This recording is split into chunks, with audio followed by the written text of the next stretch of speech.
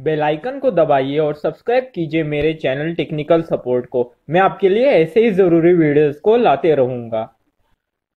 मेरे channel technical support में आपका स्वागत है। तो दोस्तों, आज हम देखेंगे कि किस तरह अपन अपने एसबीआई ऑनलाइन बैंकिंग की मदद से जो पैसा है तो वो दूसरों के खाते में भेज सकते हैं। तो फिर चाहे उसका खाता दोस्तों की एस बैंक में हो या फिर एसबीआई के बाहर दूसरे किसी बैंक में हो, जिस तरह एचडीएफसी हो गया। तो दोस्तों, यही हम देखेंगे। तो दोस्तों, सबसे पहले तो आप एसबीआई में सबसे पहले अपने जो भी डिटेल्स है तो उसके साथ लॉगिन हो जाइए दोस्तों। तो फिर अपने को आना है पेमेंट एंड ट्रांसफ़र में।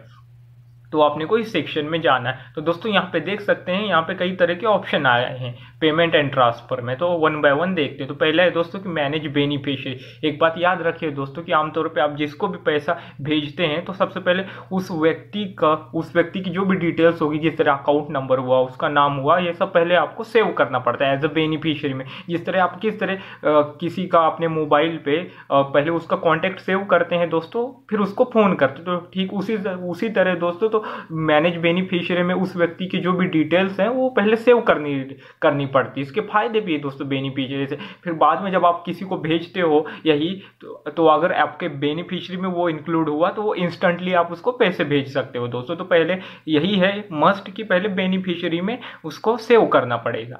और नेक्स्ट ऑप्शन है दोस्तों अगर आप बेनिफिशियरी में जिस भी व्यक्ति को भेजना चाहते हैं वो बेनिफिशियरी में ऐड नहीं है और आपको इंस्टेंटली अगर भेजना है तो ये जो यहाँ पे क्विक ट्रांसफ़र है तो इसका भी उपयोग दोस्तों कर सकते हो। तो इसमें मैक्सिमम अभी लिमिट टेन थाउज़ेंड रुपीज़ की है। हम्म, तो टेन थाउज़ेंड रुपीज़ दोस्तों तो अगर उसका आ, सामने वाले का अकाउंट अगर एसबीआई में है दोस्तों तो तुरंत हो जाएगा। हम्म, अगर नहीं है तो फिर आपको क्विक ट्रांसफ़र से आईएमपीएस या फिर इस तरह आर का सहारा लेना पड़ेगा। तो इसमें चार्जेस लगते हैं दोस्तों ठीक है? तो फिर ये क्विक चार्ज का हो गया। क्विक क्विक ट्रांसफ़र मनी का हो गया। तो मैनेज बेनिफिशियरी में जाके देखते हैं दोस्तों वन बाय वन सबसे पहले तो आपको कोई भी आप मैनेज बेनी किसी को ऐड करते हो रिमूव करते हो तो सबसे पहले आपको प्रोफ़ाइल पासवर्ड डालना पड़ता है, वो मस्ट रहता है दोस्तों। हम्म या फिर जो भी आप कोई चेंजेस करते हो अपने प्रोफ़ाइल से तो उसमें आपको डालना ही पड़ता है प्रोफ़ाइल पासवर्ड चलिए, डाल के सबमिट करते हैं।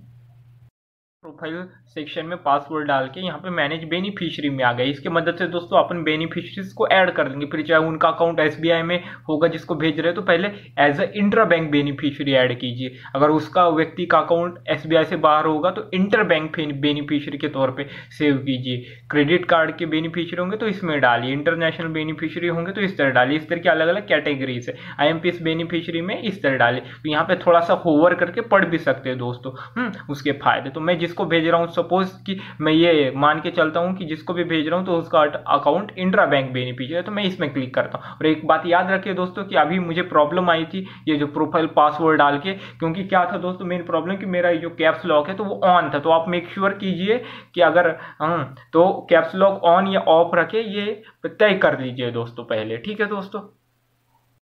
तो जैसे कि आप देख सकते हैं कि आप इंट्रा बैंक बेनिफिशियर में इस तरह का एक पेज ओपन हुआ। तो इसमें आपको जिस भी व्यक्ति को भेजना होगा तो उसका नाम, अकाउंट नंबर, फिर से डाल दीजिए अकाउंट नंबर और लिमिट डाल दीजिए। यहाँ पे लिमिट देख सकते हैं दोस्तों, कितनी की है?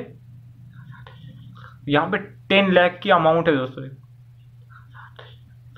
जी हाँ दोस्तों, टेन लाख की मैक्सिमम लिमिट यहाँ पे दी गई है आपको। यानी कि आप अगर बेनिफिशियरी में ऐड होके सामने वालों को भेजेंगे तो दस लाख तक भेज सकते हैं। दोस्तों, इसीलिए बेनिफिशियरी उस बेनिफिशियरी क्रिएट करना इंपॉर्टेंट है दोस्तों। तो एक बार दोस्तों याद रखिए कि आप बेनिफिशियरी को सबमिट करते हैं तो फिर बाद में आपको उसको, उसकी लिमिट और फिर उस बेनिफिशियरी का जो भी अकाउंट नंबर है, उसको अप्रूव करना रहता है तो अप्रूव यहाँ से भी कर सकते हैं दोस्तों। तो अपन वन बाय वन टैब में देखेंगे। तो यहाँ से जिसको भी आपको दोस्तों सेंड करना है तो यहाँ पर पूरी डिटेल डाल के सबमिट कर दीजिए। तो नेक्स्ट टैब है, देख सकते हैं आप कि मॉडिफाई की टैब है। तो यहाँ पे जिस भी व्यक्ति को आपने ऐड किया, उसका नाम भी दिख जाएगा यहाँ पे विकास त्रिपाठी। उसमें कोई चेंजेस करने होंगे। या फिर सपोज़ कि आपने जब बेनिफिशियरी के तौर पर ऐड कर रहे थे विकास त्रिपाठी को, तब लिमिट लगाई थी आपने कितनी? पाँच हज़ार के करीब। अब आपको उसको दस हज़ार या फिर उससे भी ज़्यादा बढ़ानी इस तरह के कोई भी चेंजेस कर सकते हैं तो मॉडिफाई पे जाके यहाँ पे गो कर दीजिए। यहाँ पे फिर से वही पेज ओपन होगा दोस्तों कि जो आपने ऐड करते हुए बनाया था तो उसमें से वही चेंजेस करके मॉडिफाई कर दीजिए दोस्तों। अब हम डिलीट टैब को देखेंगे। तो अगर जो भी आपने बेनिफिशियर को ऐड किया तो उसको रिमूव करना है तो यहाँ पे डिलीट में क्लिक कीजिए। मल्टीपल होंगे तो कई तरह के मल्टीपल होंगे दोस्तों तो आप सिलेक्ट कीजिए वन बाय वन फिर गो में जाते जाते इस तरह डिलीट करते रहिए। नेक्स्ट टैब है दोस्तों व्यू का। तो व्यू में भी आप देख सकते हैं कि वही एक ही मेरे बे, बेनिफिशियरी आदित्य त्रिपाठी। तो यहाँ पे जब आप गो गो में जाएँगे तो पूरी डिटेल दिखेगी। ठीक है दोस्तों? कि कितनी उसकी राशि है कितनी आपने अप्रूव की है। ठीक है दोस्तों? तो अब हम अप्रूव में जाएँगे।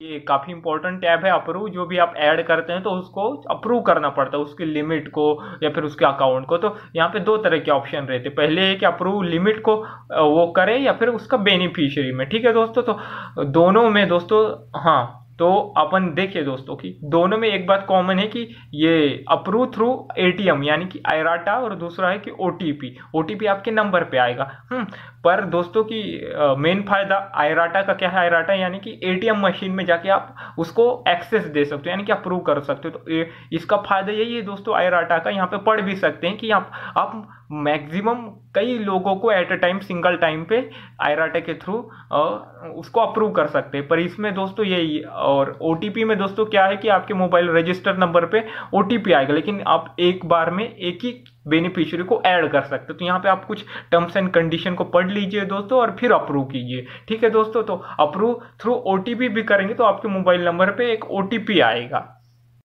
ट्रांसफ़र को ऑप्शन को देखते हैं यूज़ करके।